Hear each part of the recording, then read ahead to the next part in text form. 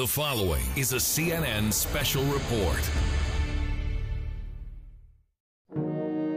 From harsh beginnings to the heights of power, Vladimir Putin has ruled Russia for over a decade. They want a strong guy in charge. They've got a strong guy in charge. From the KGB to Sochi, a very public leader who remains a mystery to many. The power of Vladimir Putin. The International Olympic Committee has the honor Since this announcement in 2007, that the 22nd Olympic Winter Games in 2014 are awarded to the city of Sochi.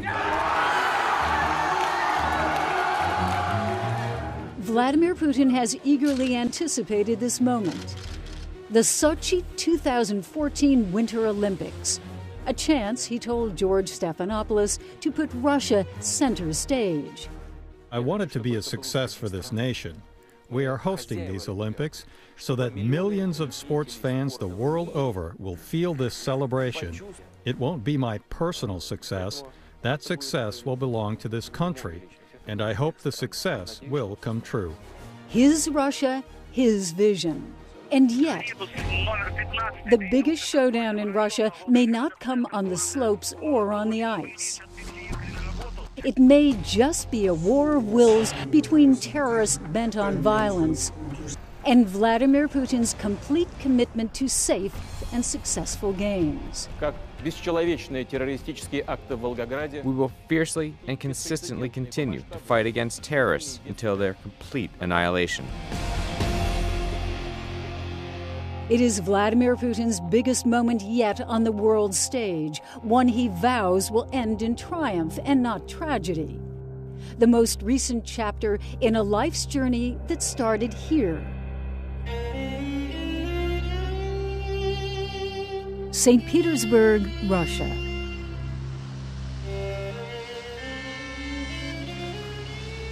Tsar Peter the Great's window to the west.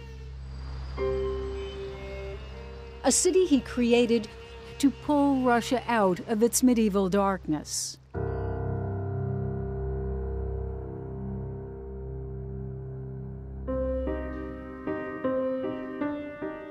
Putin lived in a one room communal apartment with no hot water where he beat off rats with a stick. Now it's a tourist attraction. For Russians like this woman, it provides surprising insight into their president. It was a very ordinary person, very ordinary, and uh, he wants to go up very much, very much. The city of Putin's youth was called Leningrad. In World War II, the Nazis tried to starve the city into submission, a blockade that lasted 900 days. Thousands of the dead were hauled off to this memorial cemetery and buried anonymously in mass graves. Amidst nearly half a million people buried, could be the brother of Vladimir Putin. The president has revealed that his brother, who was just a little boy at the time, died during the war, but he has no idea where that grave may lie. And this was the first one, which Strobe Talbott is an expert on Russia and has met with Putin several times. he learned as a child the brutality of life. And also because uh, of what the city of Leningrad and the citizens of Leningrad went through during the war, uh, what the enemies of Russia could do at their worst. And I think that has never left him. Putin was born in 1952. For him, it was a scrappy life, a thin boy, not very tall, who was constantly getting into trouble and always late for class. But this was his salvation. Mikhail Rakhlin is a judo master. His father, Anatoly, taught young Putin the sport. Judo has its own philosophy. It has power, technique, and tactical elements. Judo gave Putin focus, strength, and, says Strobe Talbott, the characteristic that most defines him discipline that he imposes on the people who work for him and on the country that he rules. Putin, a self described hooligan, said the sport changed his life and taught him strategy. You wait the other guy out until it's hard for him. He steps back. You move forward. Then you win. As much as he loved judo, Putin loved spy movies like this one. At 16, Putin went to KGB headquarters intending to join, but officials told him he wasn't ready. They said, Well, kid, go away. You need some education. He goes to law school, comes back, and he becomes an agent. I think he was very much a product uh, of that uh, quintessential Soviet uh, institution. I remember meeting him and having him lock his gaze uh, on, on my eyes and let me know that he knew a lot about my past. And what he was basically saying, I've studied your file. I know about you. We've got stuff on you. It was just classic KGB behavior. Putin was in his 20s and a KGB agent when he met Sergei Roldugin, an accomplished cellist, in the summer of 1977. We had a guitar and we were singing songs. We rode around town. He didn't look like a police officer, but he was just a good guy. Nothing else but a nice, charming guy. A nice, charming guy lacking polish and driving a car like a tin can. That Zaporozhets car had no muffler. You know what a muffler is? So it made this sound, you know? Putin's Zaporozhets wasn't sleek like this one from Goldeneye, and Putin was no James Bond. But he was plenty tough. One evening, a drunk student with a cigarette stopped Putin and asked for a light.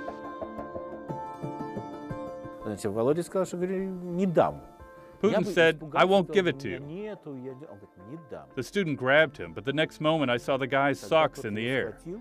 I don't know what technique he used. I just saw the guy's legs in the air. Somewhere under the brusque exterior was the discipline, the drive that would one day pluck him from obscurity and land him here.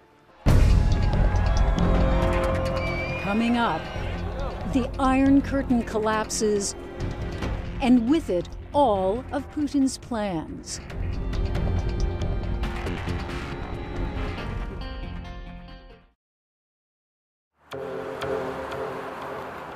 In this unremarkable building, one of the Cold War's most feared agencies, the KGB. Secretive, powerful, and by the late 80s, Vladimir Putin's employer, although he wouldn't admit that he was a spy. Он сказал, что он специальная милиция. He said he was in the special police. Sergei Roldugin is a friend.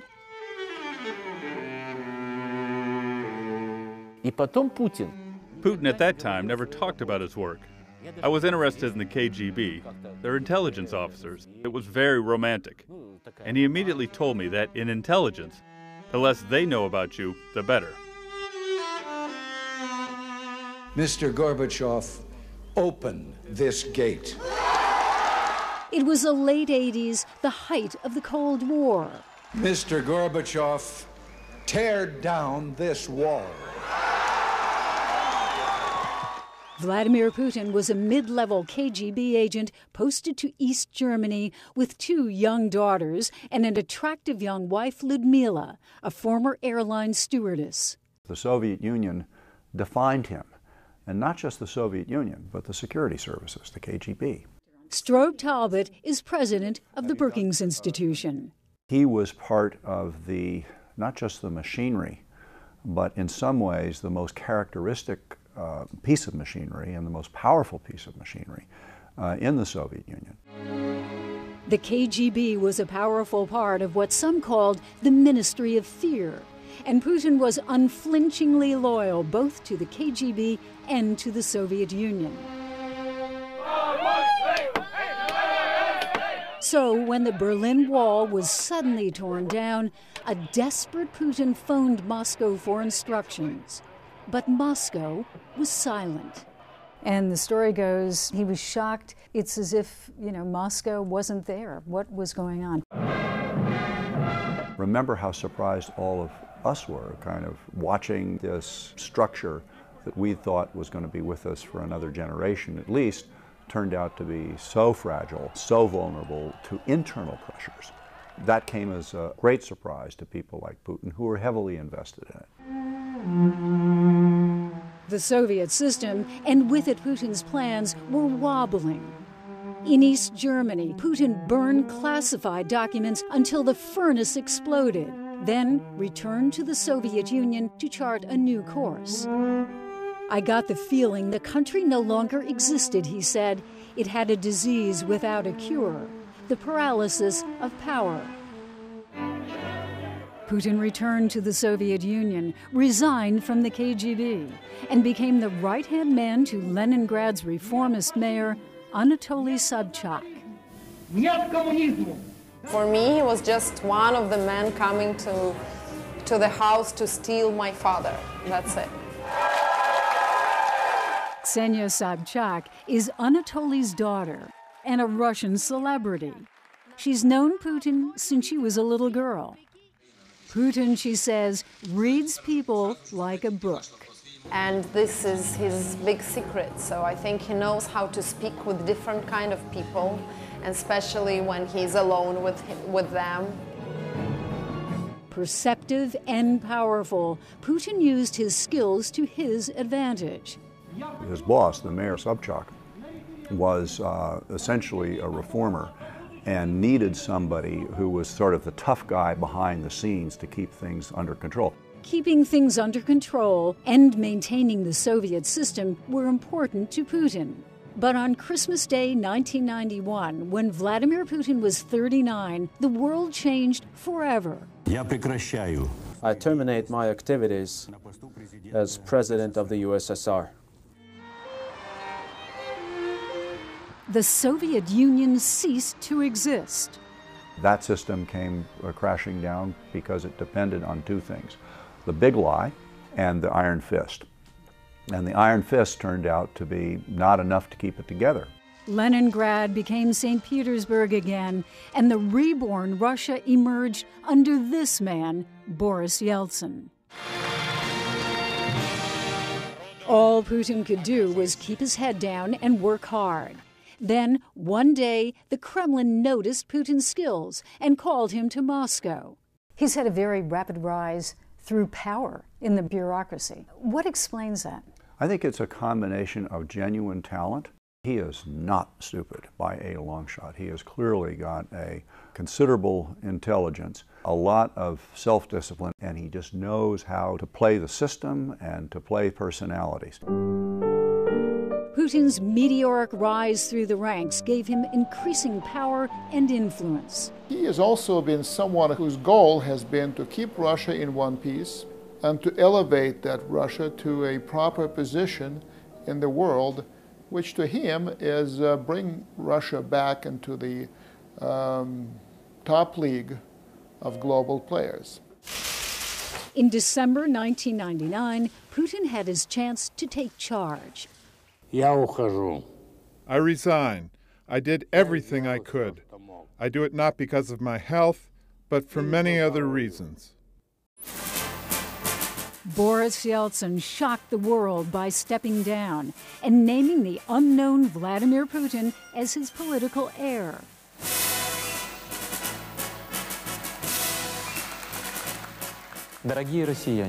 Dear Russians, dear countrymen, Today, I have been given the responsibility as head of state. Vladimir Putin was in control and would lead Russia for the next 14 years. Next, the Sochi Olympics. I mean, it's prestige. He is a big believer in prestige. And the shadow of terror.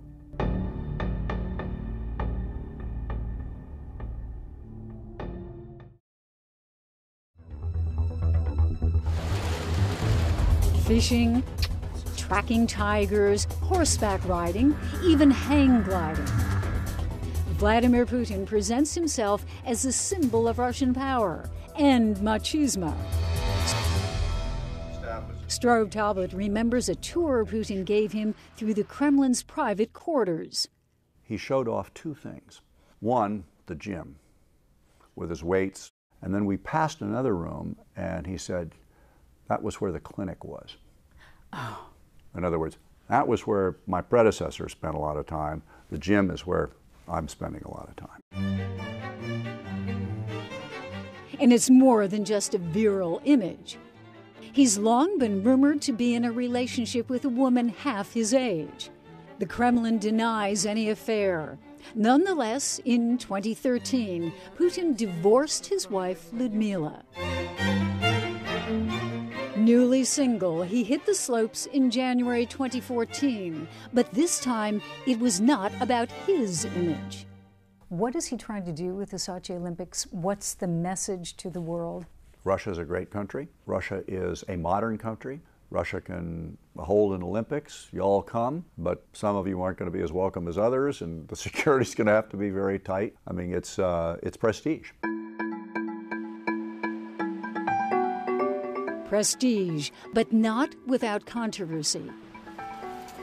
At a cost of over $50 billion, it's the most expensive games in history. On ABC's This Week, Putin denied allegations of massive corruption. No, not true. Our law enforcement agencies have been working in this area. So far, we are not seeing any major large scale manifestations of corruption as part of the implementation of the Sochi project. But Putin can't deny the specter of terrorist violence, though he has vowed to prevent it.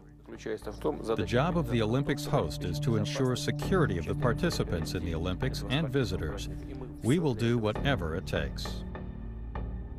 Putin's heavy hand has made him enemies worldwide, sparking controversy recently with a strong anti gay stance. There have been protests against him. Yes, there's been a high degree of repression, but it's also interesting that there hasn't been a widespread, sustained support for the protests either. That's because Russians, Talbott says, are used to an authoritarian leader. Ksenia Sobchak is not so sure. We should fight with him not because he's a monster, he's not. Just his values are not my values and not values, I think, of the whole, uh, you know, new generation in Russia. His mind is very, um, uh, so to say, Sovietic. Hmm. Soviet. Soviet. He's very, his mind is very Soviet.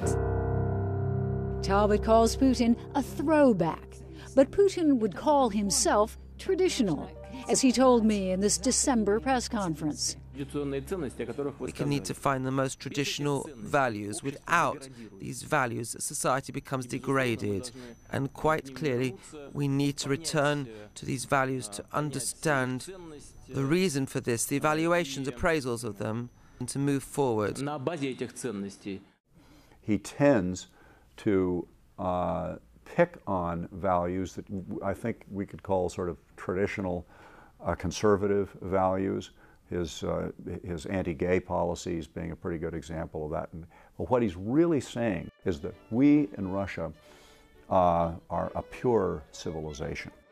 Putin sees himself as the protector and savior of modern Russia. Over the last decade, Putin has paid off Russia's debt, improved the quality of life for many, and made Russia a major player in international affairs. He's also shown, just in the past six months or so, some dexterity in diplomacy, making a, a virtue out of the crisis uh, in Syria, sort of getting Russia back into the game of diplomacy in the Middle East and that kind of thing. And I think there is a certain accomplishment there. Yet, he has plenty of detractors. I don't want to compare, but Putin has his own truth, which is just different from ours. He's quite truthful in saying, like, look, I'm the ruler, it's my rules, I believe in these things, so I'm the president, so I would decide how you would live. Only time will tell whether today's Russians are willing to live by Putin's rules. But one thing seems clear Putin doesn't plan to relinquish control anytime soon. Two presidential terms are not enough. Even four presidential terms are not enough. We're talking about a lifetime job. Even then, it will not be complete. So he wants to see it through.